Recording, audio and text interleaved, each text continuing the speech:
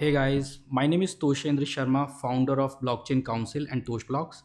We have decided to launch a series of podcasts in blockchain technologies, talking about its use cases and technical innovations behind this technology.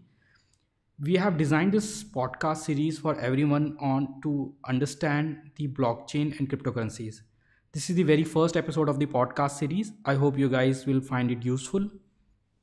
So, our topic for the first episode is why blockchain should not be considered as a technology of only Bitcoin and cryptocurrencies. So, before I begin, I want to quickly go through the blockchain and try to explain in short what is blockchain and how it works. So, blockchain is a peer to peer network of computers and servers which are together taking certain decisions without having any single or multiple trusted computer to take that decision so you can imagine if there are 1000 computers they have to take a certain decision on a certain thing then there is no single boss or leader who will actually be helping them to decide. Because when the decision power is with some single entity or single computer it is very easy for everyone to go there to that computer and ask for the decision.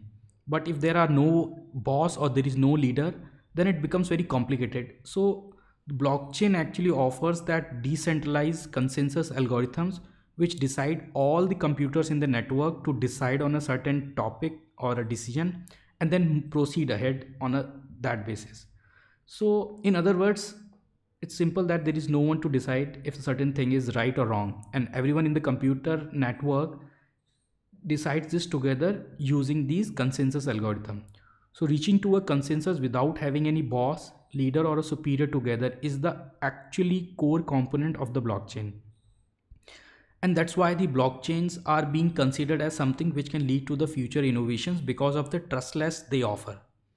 So you can imagine the whole consensus logic is like executing an election on every second for every single decision among a 1 billion people without having any election commission or government or authority.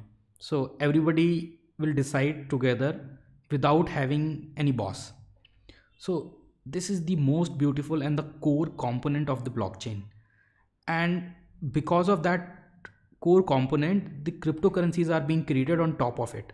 So cryptocurrencies are one of the implementations of the blockchain. They are not the blockchain. So what i have explained just now about the blockchain is actually a very generic sense of blockchain. There are tons of other things before you go into deep and try to understand what exactly and how exactly the blockchain works. So we'll cover those things in the upcoming topics.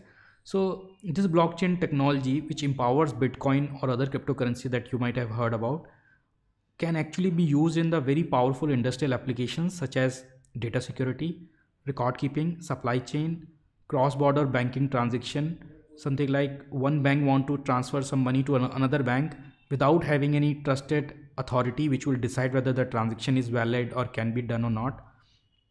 A voting system where the votes can be recorded into the blockchain which will remain secure and safe and there is no way someone can go back alter or tamper the voting and then let anyone believe that the tampered voting is right. That is not possible in the blockchain. So Technically, the blockchain technology is an independent and distributed technology which empowers Bitcoin and not the Bitcoin itself. So blockchain is like an internet and Bitcoin is like a application built on top of internet. So you can compare the internet with blockchain and maybe Facebook with Bitcoin because Facebook is like an application of internet, right? No, not the exactly internet. But of course, many people think that even facebook is just internet so of course so facebook is an implementation just like google is also an implementation of the internet so bitcoin is one of the implementation. There are tons of other things that can be done. So the question is why cryptocurrencies use blockchain technologies only? Why not they can be built on top of other things? So actually blockchain technology offers a very powerful features something like immutability non-repudiation and not dub and non-double spending uh, you know as a feature into the blockchain. So these features actually makes it a best use case for the cryptocurrency. So if you have a cryptocurrency you don't want to spend it two times right? Because if you have a one bitcoin you are sending it to someone. You don't want to send that same bitcoin to someone or maybe you want to but you cannot. So technically that becomes the best feature that cryptocurrency need. That's why it is being built on top of blockchain not on the other traditional technologies. Because if you build the cryptocurrencies on top of any traditional technologies like mysql database or a centralized server then the trustless will not uh, be there because you need to make the currencies trustless. You don't have to trust someone who is giving you the money to get the money right? That's the feature that cryptocurrencies need.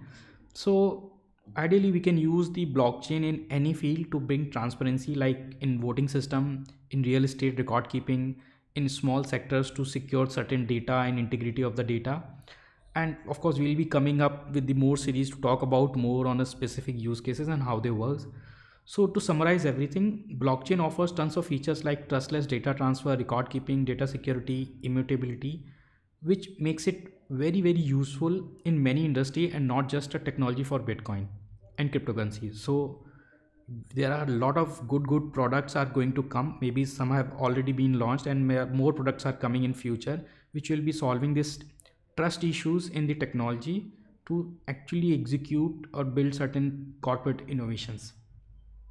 So thank you guys for listening. Let's meet on the next episode and then talk about the other topics.